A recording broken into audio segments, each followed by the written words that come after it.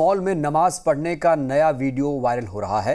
पहले जिस जगह पर नमाज़ पढ़ी गई, वहीं दूसरी बार भी नमाज़ पढ़ी गई। हिंदू संगठनों का आरोप है कि नमाज़ के लिए जगह को खाली कराया गया। कल लखनऊ में हिंदू हिंदू संगठनों ने मॉल के बाहर प्रदर्शन किया था। शाम छह बजे मॉल के अंदर सुंदरकांड पाठ का ऐलान किया गया।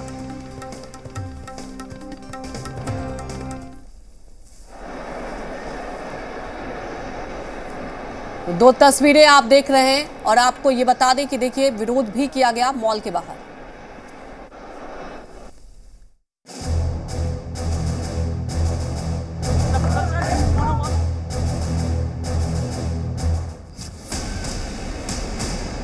लखनऊ के लुलू मॉल में धर्म युद्ध मॉल में शुरू हुआ नमाज़ वर्सेज चालीसा।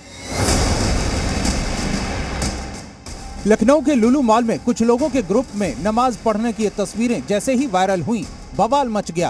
ये देखिए बम बम बोले के नारे और अपना प्रदर्शन। लुलू मॉल के सामने ये लोग दर्ज करा रहे हिंदूवादी संगठनों ने मोर्चा खोल दिया। हिंदू महासभा के लोगों ने मॉल में नमाज़ पढ़ने के खिलाफ प्रदर्शन किया। महासभा के कार्यकर्ता लुलू मॉल पहुँच गए और हंगामा शुरू कर दिया। उधर नमाजियों के खिलाफ प्रबंधन ने सुशांत गोल्फ सिटी थाने में धारा एक सौ तिरपन ए, दो सौ पचानवे ए, तीन सौ इकतालीस ए समेत अन्य धाराओं में एफआईआर दर्ज करवाई।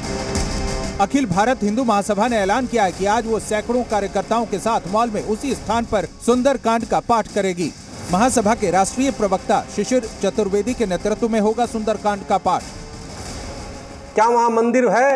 अगर नहीं है तो तत्काल रूप से हिंदू महासभा भी इसकी घोषणा करती है। संत महासभा तमाम हिंदू संगठन वहाँ हनुमान चालीसा पढ़ेंगे। साहब जो है इन्होंने आश्वासन हमको दिया कि आज आप मॉल के अंदर ना जाइए शांति व्यवस्था कायम रखिए। हमने उनकी बात का पूरा पालन किया है। दरअसल अल्लाह की इबादत करने की जगह मस्जिद है या निजी जगह आरोप लोग नमाज़ पढ़ते हैं। हालिया विवादों को देखते हुए सार्वजनिक जगहों पर नमाज़ पढ़ने पर रोक लगाई गई है, लेकिन लखनऊ के जिस सबसे बड़े मॉल का उद्घाटन चंद रोज पहले सीएम योगी आदित्यनाथ ने किया था, उसी लुलू मॉल के भीतर शासन के आदेश की धज्जियाँ उड़ाई गई योगी सरकार में मंत्री दानिश आज़ाद ने पूरे मामले की जाँच की बात कही है और सांप्रदायिक सौहार्द बनाए रखने की अपील की है।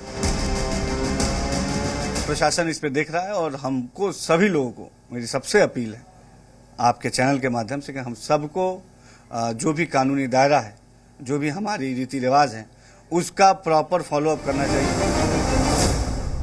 सवाल उठ रहे हैं कि आखिर मॉल में धार्मिक गतिविधियों में कोई कैसे शामिल हो सकता है? सवाल ये कि सार्वजनिक जगह पर आखिर नमाज़ कैसे अदा की जा सकती है? आखिर मॉल को मस्जिद की तरह कैसे इस्तेमाल किया जा सकता है?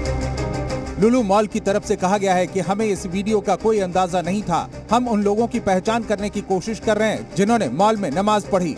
मॉल के अंदर धार्मिक गतिविधियों की इजाज़त नहीं है। मॉल पर लव जिहाद के एंगल से भी आरोप हैं कि जानबूझकर मॉल में 75 फ़ीसदी मुस्लिम लड़के और 25 फ़ीसदी हिंदू लड़कियों को नौकरी दी गई है जिस पर मॉल के जीएम ने सफ़ाई दी।